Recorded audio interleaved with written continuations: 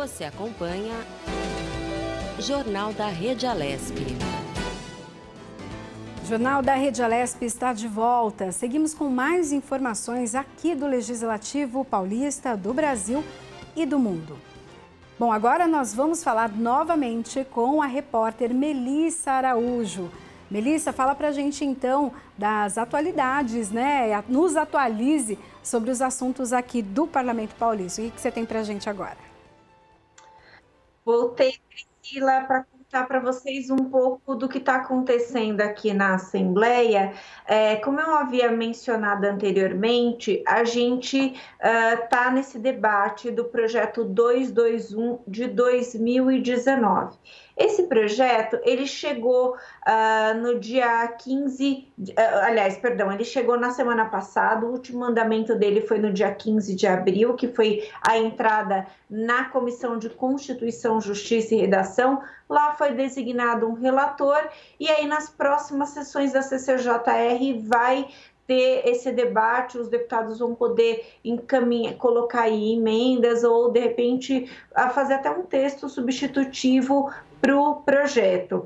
É, esse projeto é, ele junta sete programas que foram é, criados aí pelo governo do estado. Ele melhora algumas algumas uh, uh, remunerações desses programas e cria uma nova possibilidade que é do trabalho uh, remunerado dentro das escolas, né? É, é, isso, o foco desse trabalho são 20 mil, mais ou menos 20 mil pais e mães Uh, que possam a, contribuir ali na, na, organização da escola e na comunidade e ganhem por isso, uh, ganhem um valor por isso.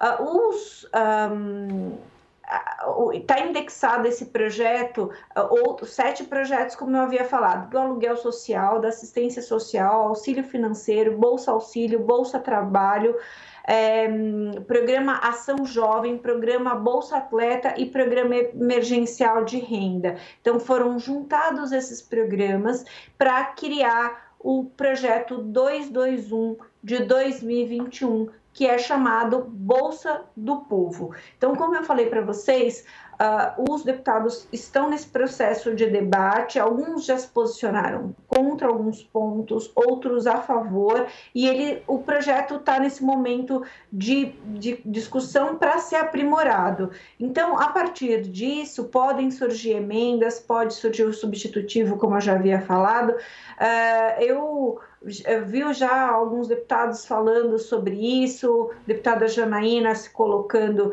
colocando a, possibilidade aí de colocar emendas no projeto, conversando com a bancada dela para colocar emendas no projeto, a mesma coisa deputado Carlos Janaz do PSOL. Então, os parlamentares Uh, o, o, os deputados do PT também tem, fizeram colocações, os deputados da base do governo. O deputado, semana passada, uh, Pri, uh, Priscila, eu tive uma. Eu gravei um programa com o deputado Vinícius Camarinha, do PSB, que é o novo líder do, do governo. Aliás, esse programa vai ao ar amanhã, às nove e meia da noite. Quem quiser conferir é bacana, já fazendo propaganda aqui do meu programa.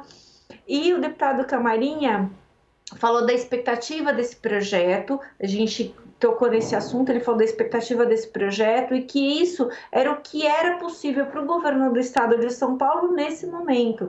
A gente tem aí, na, na última vez que o secretário Henrique Meirelles esteve aqui conosco na, na, na, na Assembleia, ele falou do superávit que tem aí na, na, nas contas do governo, ou seja, do que sobra, que está sobrando no caixa do governo. Porém, esse uh, dentro do, de todo o contexto, a gente nem pode dizer que, opa, que bom que está que tá, uh, sobrando, porque realmente há, há muitas necessidades ainda a serem supridas. Então, com muita parcimônia, com muito cuidado, os, o governo está uh, é, é, fazendo esse investimento agora. Uh, são, uh, são cerca de um bilhão de reais que vão ser destinados aí para esse programa, né? Então é, tem muito o que ser debatido ainda. Os deputados gostariam que tivessem outros termos aí do, desse projeto. Então, por isso, uh, esse momento em que o, o que vai para a Comissão de Constituição e Justiça, depois para o Congresso de Comissões, é essencial para entendermos a proposta em todos os seus aspectos e ter novas possibilidades aí dessa proposta. Então, um, é, aí depois, ah, depois que passa por esse processo todo de, dentro das comissões, pode, pode e com certeza irá acontecer um novo debate no plenário, né, para que os deputados façam colocações. E de repente, se dentro desses, uh, a gente lembra que é importantíssimo a gente colocar isso. Uh, dentro da, das comissões, uh, as comissões elas são compostas por representantes dos partidos, certo? Então, Uh, o deputado pode uh, conversa, o deputado que está na comissão, ele conversa com a sua bancada ali para entender qual que é a posição da bancada. Mas se algum, alguma dessas posições não forem levadas adiante, isso pode ainda ser é, debatido em plenário, ser colocado em plenário. E aí o, o deputado e a bancada podem fazer uma nova emenda de plenário com 67 assinaturas e uh, colocar aí essa emenda para que o projeto, para ser acrescentado ao projeto. Né? Então, é, esse, essas eram as informações que eu tinha para você, Priscila. Acho que é bem importante a gente ficar de olho, com certeza. A gente vai voltar a falar do projeto 221 de 2021, porque é um projeto que realmente tem bastante importância, principalmente para quem está passando dificuldade nesse momento de pandemia. Eram essas as informações para você, Priscila. Verdade, Melissa. Obrigada por passar para nós tudo que acontece aqui no Legislativo Paulista. Né? Os deputados têm trabalhado ali de forma virtual, mas já trazem, então, projetos importantes que precisam ser discutidos e também votados, né? Para que a população paulista tenha, uh, seja atendida na sua, né, na maioria dos seus direitos e das suas necessidades. Bom, agora nós vamos falar sobre vacinação contra a gripe. O governo do estado de São Paulo iniciou no último dia 12 de abril mais uma campanha de vacinação contra a gripe. Em mais um ano da campanha, tem a expectativa de imunizar 90% da população, o que representa 18 milhões e 500 mil pessoas em todo o estado. Sobre esse assunto, nós vamos conversar agora com a doutora Helena Sato, ela é coordenadora de imunização da Secretaria do Estado de São Paulo. Boa tarde, doutora Sato, tudo bom? Seja bem-vinda aqui ao Jornal da Rede Alesp. E eu queria que a senhora, a senhora já falasse para a gente sobre essa campanha que é tão importante. Todos os anos, né, nós temos a vacinação contra a gripe e eu queria que a senhora falasse para a gente sobre o andamento dela.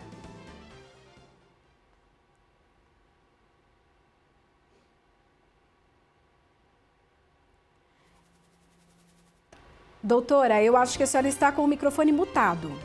Dá uma olhadinha aí no áudio para gente.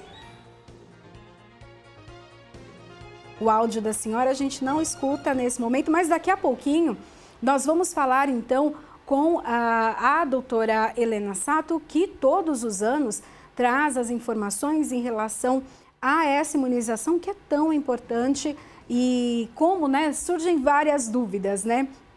Tem a questão da vacinação da Covid, também a vacinação da gripe e a doutora Sato vai contar tudo para a gente. Doutora, já estabeleceu aí o, o nosso contato? Acho que agora deu tudo certo. Ok, então vamos lá. Eu queria que a senhora falasse então dessa campanha de vacinação. Bom, é, é, nós tamo, demos início, né, semana passada, no dia 12 de abril, a nossa 23ª campanha nacional de vacinação contra o vírus influenza, não é? Então, por que, que é importante, né? Apesar de estarmos comemorando 23 anos, é sempre muito importante explicar o motivo dessa campanha, né? Sabemos muito bem que as pessoas infectadas pelo vírus influenza, né, que não é uma gripezinha, não é um resfriado comum, o vírus influenza, quando acomete eh, grupos de risco, como as pessoas com 60 anos ou mais, pessoas portadoras de comorbidade, né, gestantes, grávidas, que depois nós vamos aprofundar um pouco mais essa questão, sabemos muito bem, uma vez se infectando pelo vírus influenza, poderão evoluir com complicações, como pneumonia e internação hospitalar. E, infelizmente, a depender, né, teremos sim complicações, então, por isso, essa é a grande importância da vacinação contra o vírus influenza. Doutora, essa vacinação é uma e nós temos a vacinação de Covid-19, que são duas coisas diferentes. As pessoas precisam entender que são duas coisas diferentes. Como funciona é, é, o período né, de aplicação? Existem pessoas que já tomaram a primeira dose, mas aguardam a segunda dose da Covid-19. Podem se imunizar com a vacina da influenza ou ainda não? Explica para gente. Então vamos lá.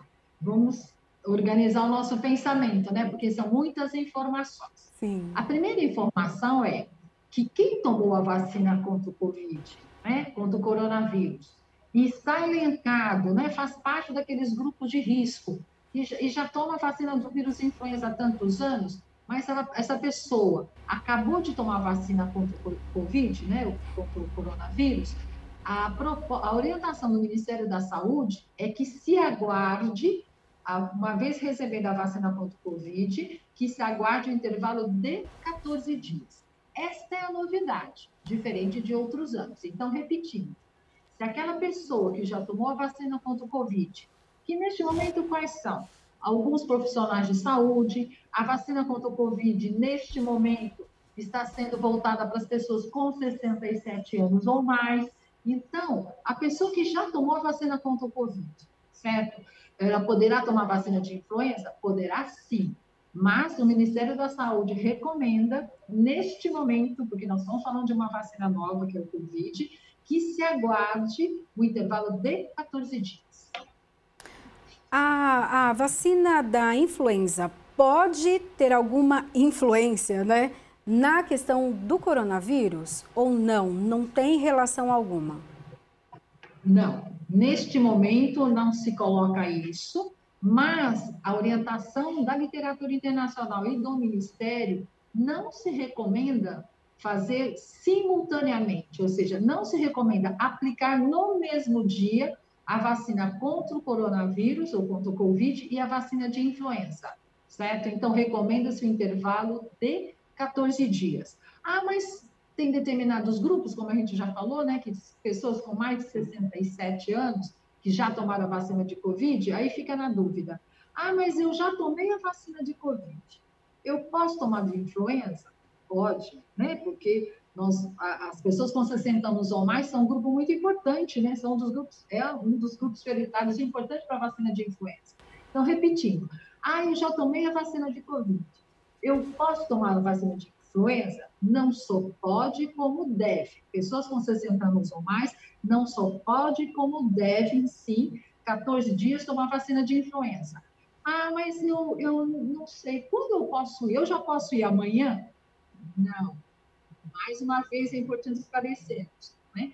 Nós estamos fazendo agora essa campanha de Covid para as pessoas com 67 anos ou mais. A aplicação da vacina para as pessoas contra o vírus influenza com 60 anos ou mais será início no dia 11 de maio. O que eu queria só esclarecer nessa minha fala, é, é, sabemos muito bem né, que é um momento de trabalhar com duas, duas vacinas, sabemos que não é uma questão fácil, mas todas as recomendações que nós estamos colocando aqui, nós já estamos já estão sendo repassadas para os nossos 645 municípios, né? E essa ação de vacinação será feita também de modo gradativo, de acordo com os grupos prioritários. Doutora Sato, ainda tem algumas pessoas que têm medo, receio da vacina da gripe, né? Falam, ah, eu tomei, eu estava bem, tomei a vacina, fiquei gripado, fiquei resfriado. Eu conversei com um especialista que até falou que antes da vacinação a gente tem que se preparar dormindo bem, tomando bastante líquido e se alimentando bem. E isso deve acontecer também depois da vacinação. Isso é real? Ajuda mesmo a gente tomar a vacina e ainda ficar bem, ficar forte? Então vamos lá. se alimentar bem, ingerir líquidos, isso é uma prática fundamental para qualquer pessoa, né?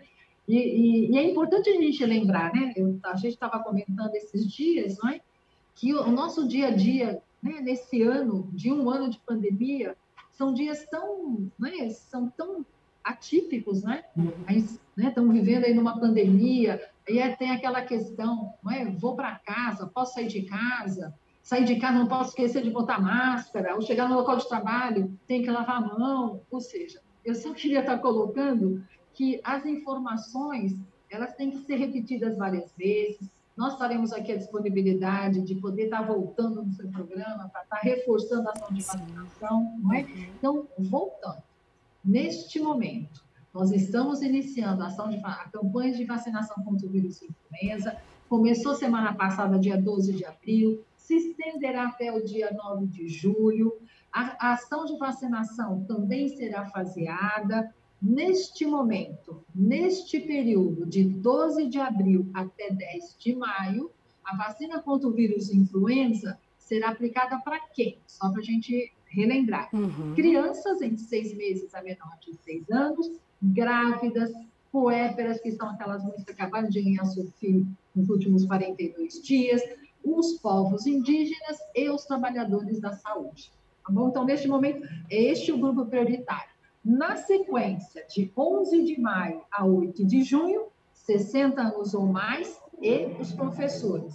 E a partir de 9 de junho a 9 de julho, as comorbidades, as pessoas portadoras de deficiência, né?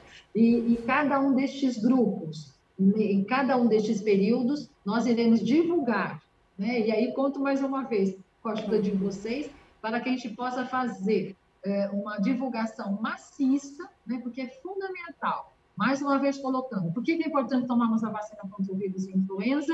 Pois o vírus influenza, uma vez infectando esses grupos prioritários, esses grupos prioritários terão, sim, maior risco de evoluir com complicações, com pneumonia, internação hospitalar e, infelizmente, poderemos ter complicações evoluindo até ao óbito. É, e até falando nisso, secretário, em 2020, né, o ano passado, o ano que a gente enfrentou ali praticamente todo o ano de pandemia, o estado de São Paulo registrou 809 casos de síndrome respiratória aguda grave, né? Que então é atribuído ao vírus influenza. E com o número de mortes também de 111 óbitos, assim como a senhora disse, que é tão importante quanto a vacina da Covid, porque infelizmente influenza também mata, né? Isso, isso é fundamental. E, e então, é, é, essa questão é fundamental. Nós estamos em pandemia há um ano, não é? E o que a gente fala, vida que segue, nós, é fundamental e quero aproveitar essa oportunidade né, de falarmos aos senhores pais também a importância de mantermos atualizado o esquema de vacinação dos nossos filhos. Não é? Com essa pandemia, nós entendemos sim, falamos tanto a importância de ficarmos em casa, mas também nós já estamos falando, né, divulgando na imprensa a importância de atualizar o esquema de vacinação dos nossos filhos. Né? Então, é, várias ações estão sendo realizadas, mas neste momento, o foco, né, neste período de 12 de abril a 10 de maio, nós então estamos chamando esses grupos prioritários para tomarmos a vacina contra o vírus influenza. Bom, quero agradecer então a participação da senhora hoje aqui no Jornal da Rede Alesp. Sempre seja bem-vinda. É, todos os anos nós fazemos o alerta, né, junto com a senhora, aqui da importância dessa vacinação. Tenha sempre aqui um espaço especial para chamar a atenção da população realmente para a vacinação. Muito obrigada, secretária. Eu que agradeço a oportunidade e com certeza voltarei. Obrigada e boa tarde a todos. Que bom, seja sempre bem-vindo. Então, nós conversamos agora com Helena Sato, coordenadora de imunização da Secretaria Estadual de Saúde de São Paulo, que faz esse alerta, né, sobre a vacinação de influenza, uma situação que também pode levar à morte caso não tenha a vacinação, não tenha ali uma proteção extra. E todos os anos, todos nós precisamos tomar também essa vacinação. Olha, por iniciativa da deputada professora Bebel, do PT, foi realizado um ato solene em ambiente virtual sobre o velho novo ensino médio do estado de São Paulo. A reportagem é de Tayana Conrad. Por iniciativa da deputada professora Bebel, do PT, foi realizado um ato solene em ambiente virtual sobre o velho novo ensino médio no estado de São Paulo. Participou do evento professores e pesquisadores do SEMPEC, Centro de Estudos e Pesquisas em Educação, Cultura e Ação Comunitária. O objetivo do encontro foi discutir a proposta de tempo integral e os aspectos pedagógicos de como ensinar e aprender durante a pandemia. A deputada professora Bebel fez alguns esclarecimentos durante a abertura do encontro. É importante resgatar que aquela proposta de ensino médio foi através de medida provisória, tá? E que depois, e que foi vencida, e que teve ocupação de escolas, tudo contra aquela, que não tem a ver com a de 2015, é da era Temer, né? Depois o currículo foi para dentro do, do, do, Conselho Nacional de Educação, a, o ensino fundamental sem tantos problemas, mas o ensino médio, ele seguiu a risca. O professor da Unesp, João Palma, destacou pontos importantes sobre a nova proposta curricular no ensino médio e uma delas foi a carga horária. Eu ouvi várias vezes isso, enxugar o currículo do ensino médio. Aí, quando nós vamos olhar o currículo que está presente, nós vamos ver que as disciplinas são, são as mesmas, apesar do discurso das competências e habilidades. Né? São os mesmos conteúdos, só que de forma aligerada, porque diminui carga horária para a educação geral, na medida que introduz os tais é, itinerários curriculares, é? e você vai ter, portanto, no máximo 1.800 horas para a educação geral. Aquilo que era feito antes em 3 mil horas, agora vai ser feito em 1.800 horas. Portanto, bom, e no caso de São Paulo, acrescente-se a isso que há também uma diminuição da carga horária de cada é, componente curricular. O professor Alexandre Isaac, cientista social e pesquisador do SIMPEC, falou sobre o programa de aulas em tempo integral e a concepção de educação nesse formato. Educação de tempo integral é uma coisa e de que educação integral é outra coisa. Ou seja, no imaginário do, do, do, debate público sobre educação integral, você pode perguntar em qualquer município que você vai, em qualquer rede, né? essa percepção de que existe uma distinção muito clara entre ampliar a jornada e oferecer educação integral, ela tem uma, uma aderência, as pessoas já conseguem é, é, é, verbalizar isso. Eu costumo brincar que você pode fazer errado quatro horas e continuar fazendo errado em oito. Né? se você não muda o método, né, você não alcança o resultado. E o que é pior, você pode produzir, inclusive, uma vitimização do aluno. A professora Lilian Kelly, assessora do SEMPEC, destacou as questões pedagógicas que envolvem o ensinar e o aprender em tempo de pandemia. Quando nós falamos em ampliar a participação dos jovens, isso pode soar um pouco ameaçador para alguns professores poxa, será que o conhecimento do professor vale menos? Né? Ou pode parecer para outros que tem uma certa concorrência entre os conteúdos escolares e fazer atividades é, mais participativas. Eu já ouvi muitos professores trazendo isso. Mas o papel do professor numa pedagogia participativa ou uma pedagogia do desejo, como eu costumo chamar, passa a ser muito estruturante, muito e criativo. Então ele deixa de ser alguém que detém um conhecimento e passa a ser alguém que pesquisa como os estudantes aprendem aquele determinado conhecimento em diferentes contextos, em diferentes arranjos curriculares, de diferentes maneiras. Então é como se o professor, eu gosto dessa imagem, fosse o arquiteto dos saberes. A deputada professora Bebel finalizou falando sobre a necessidade de mudanças estruturais no ensino. Tem que ampliar o tempo de escolaridade. Mas por que para quem veio numa redução, de repente tem o dobro das aulas? E estes alunos, essas alunas de ensino médio, elas trabalham. Então, deu bolsa de estudo. Aí elas vão abrir mão do trabalho e vão para a escola de ensino médio. né? Talvez. Mas, em todo caso, eu acho que, para mim, foram análises muito. É, porque a gente fica muito num político geral, e quando traz a gente para o tema, né, a gente é tocado a pensar.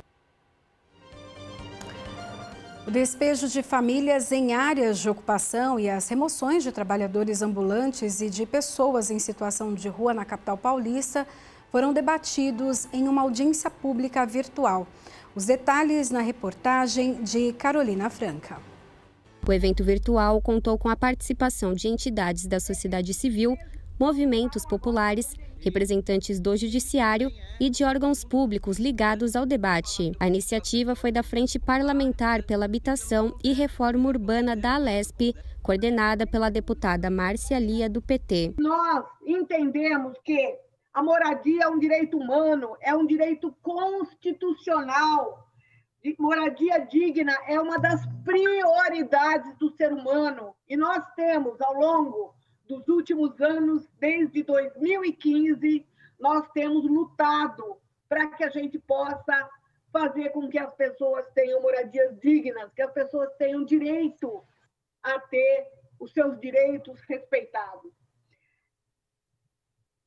É, esses despejos administrativos, sem processo judicial, esses despejos administrativos, sem que as famílias sejam reinseridas em programas sociais, esses despejos eh, administrativos são feitos com força, com violência.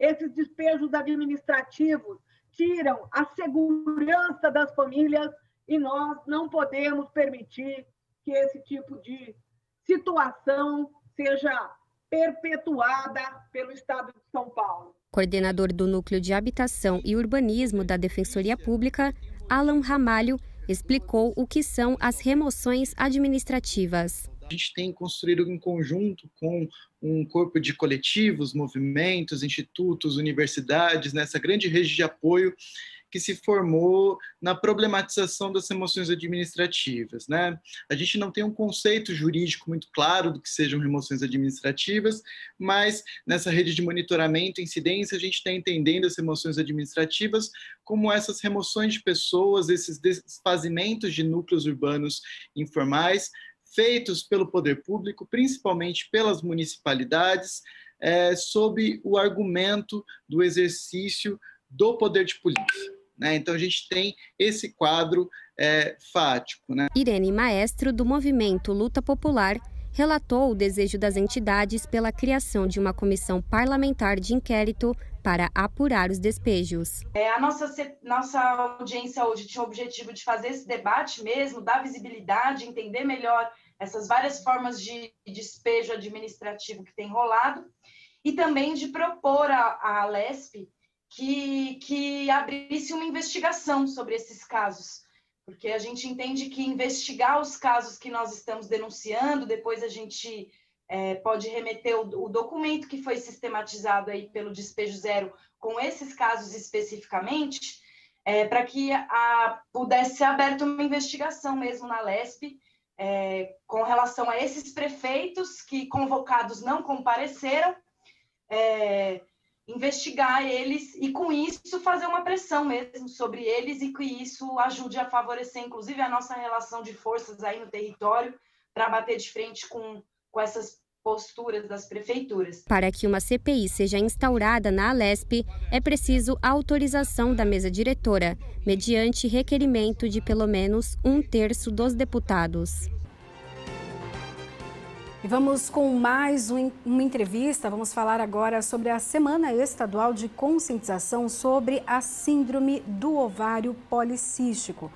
O projeto de lei número 367 de 2016, do atual deputado federal Cezinha de Madureira, do PSD, que institui a Semana Estadual de Conscientização sobre a Síndrome do Ovário Policístico, né? E para falar sobre esse assunto, nós vamos conversar com Cristina Laguna Penete Pinto. Ela é presidente da CNE, é, Comissão Nacional Especializada de Ginecologia Endócrina da Federação Brasileira da Associação de Ginecologia e Obstetrícia, a Febrasco.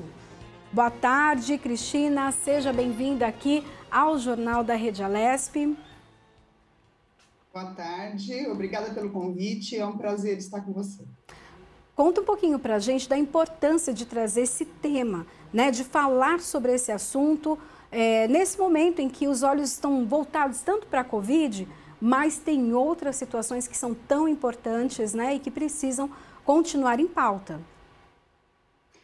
É, a síndrome do ovário policístico é uma disfunção endócrina que é diagnosticada em cerca de 10% das mulheres durante o período reprodutivo. Então, essa prevalência imensa chama atenção de como é importante que tanto a mulher quanto os médicos é, tenham um olhar atento para esse diagnóstico, independente de tempos de Covid ou não, mas a gente pode até falar um pouquinho sobre estes nossos novos tempos, mas é importante que a gente tenha uma visão clara do que é a síndrome de ovário policístico, tanto para não deixar passar um diagnóstico que é necessário, quanto para evitar diagnósticos errados. Quais as consequências né, dessa síndrome? Tem a questão da, da gravidez, da gestação, mas pode se levar, por exemplo, para um câncer, evoluir para um câncer ou não? Então, a gente faz o diagnóstico de síndrome de ovário policístico em mulheres que tenham irregularidade menstrual, mais manifestações androgênicas, como a gente chama, então é principalmente aumento de pelo, aumento de acne, e que tenham ovários aumentados de tamanho. Como consequência dessa, dessa síndrome, existe sim uma forte associação com infertilidade, como você falou.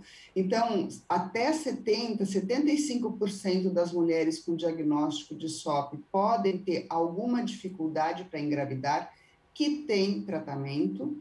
E está relacionado também com obesidade, pelo menos 50%, 70% delas podem desenvolver obesidade, com doenças metabólicas, então mais hipertensão, mais diabetes, é, mais doença cardiovascular e, como você falou, um risco aumentado de câncer de endométrio ao longo da vida. Então, sim, não é uma síndrome só para tratar aumento de pelo e acne, é uma síndrome que a gente tem que olhar por todo é, esse conjunto de alterações que podem vir acompanhando. A senhora falou até de um diagnóstico precoce. Como é feito esse diagnóstico?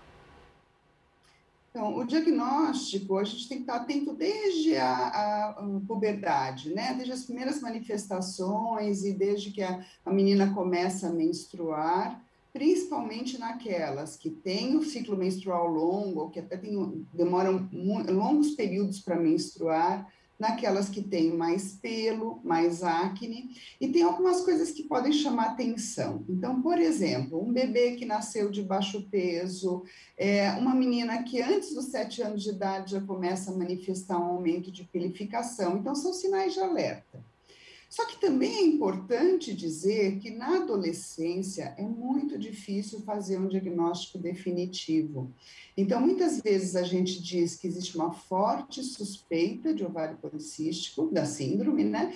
Mas a gente vai ter que reavaliar essa, esse diagnóstico à medida que o tempo passa. Em especial quando essas meninas chegam por volta dos 18 anos de idade, que é quando o organismo já se apresenta bem maduro. Isso para evitar diagnósticos errados, tá? Então, tudo isso chama atenção para a síndrome, mas diz também, reavaliem à medida que o tempo passar para só na idade adulta realmente é, dizer, é, o diagnóstico é esse, vamos tratar ao longo da vida. No caso, então, das mulheres acima de 18 anos, é, é, os exames anuais também, eles acabam ajudando nesse diagnóstico, né? Há uma indicação para que as mulheres é, vão, né, a, a sua consulta com o ginecologista pelo menos uma vez ao ano. Isso, isso é um aspecto bem interessante, né? O ginecologista é visto como o clínico da mulher, então talvez seja o médico onde a mulher vai com uma frequência maior. Então ele tem que estar atento a esse tipo, esse tipo de alterações e, e fazer o diagnóstico, orientar e a cada ano é, controlar, por exemplo, o peso das mulheres, porque da presença do ovário policístico, como eu já disse, existe uma, uma associação maior com obesidade E então, ao longo destas consultas, até orientações de estilo de vida, de controle de peso, para diminuir os riscos das manifestações graves da síndrome de ovário policístico. Então, sim, o ginecologista tem esse papel em todas as consultas de orientação e de diagnosticar adequadamente. As brasileiras, elas têm uh, maior risco a essa síndrome? É, existem populações que têm um risco menor. Então, por exemplo, nas asiáticas, esse risco parece ser um pouco menor. As brasileiras, talvez até pelas condições nutricionais e porque nós somos uma população que vem é, engordando, e esse é um problema mundial, é, sim, a gente tem um diagnóstico um pouco mais prevalente da síndrome de ovário policístico. É, então, são populações para as quais a gente tem que olhar com mais cuidado. É, existem pesquisas até que falam que as mulheres com esta síndrome correm até mais risco em relação à Covid-19. Isso é real? É, há estudos aqui no Brasil que falam sobre isso? No Brasil ainda não, mas no mundo também esses estudos são em pequeno número. É, o que vamos pensar em por que essa associação que os, que os cientistas vêm mostrando atualmente. Uhum. A SOP, né, a síndrome de ovário policístico, se associa com mais obesidade, com mais hipertensão, com mais risco de diabetes. E quando a gente olha para fatores de risco da COVID, esses também são fatores de risco de COVID. Então, existe uma associação, sim, entre os dois, as duas doenças. Tem é, poucos estudos na literatura, mas um deles, que foi um estudo de um número imenso de, de, de mulheres, no Reino Unido, comparou o risco de Covid em uma população grande de mulheres com SOP, 21 mil mulheres, correlacionando com 78 mil mulheres, em números mais ou menos redondos, assim, sem a síndrome de ovário policístico. E a, a, o número de mulheres com Covid no grupo de SOP foi bastante maior do que no outro grupo. Aí perguntaram, bom, mas por que isso? Ah, será que tem um problema com a idade? Vamos controlar pela idade. Será que não é pela obesidade? Controlaram pela obesidade também. E ainda assim, o risco de ter Covid no grupo de SOP foi 28% maior. Então, esses outros fatores de que quem tem a síndrome né, de ovário policístico tem mais hipertensão, tem mais uh, aumento de androgênios, que são esses hormônios que, que levam ao aumento de pelo, é, tem mais essas outras doenças metabólicas, parece estar diretamente correlacionado ao aumento do risco de ter Covid nesse grupo. Então, como que tem que ser a população do médico? Bom, se você tem esse diagnóstico, é, e em especial nessa associação com essas outras doenças metabólicas que eu citei, cuidado, tem ainda mais uh, com, uh, cuidados em relação a lavar a mão, ficar, uh, usar máscara, ter um distanciamento social, porque é o que a gente tem de positivo hoje em dia para diminuir o risco da, da, da Covid. Bom, agradeço então a participação de Cristina Laguna Benete Pinto, que é presidente da Comissão Nacional Especializada de Ginecologia Endócrina da Febrasco. Muito obrigada. Eu é que agradeço o seu convite e espero ter chamado atenção para esse diagnóstico tão importante para as mulheres em idade reprodutiva. É verdade, muito obrigada. Bom, lembrando também que a doutora disse que há tratamento, né? Então, um diagnóstico precoce aumenta aí a possibilidade de cura. Bom, o Jornal da Rede Alesp fica por aqui. Nós voltamos amanhã no mesmo horário. Até lá. Tchau, tchau.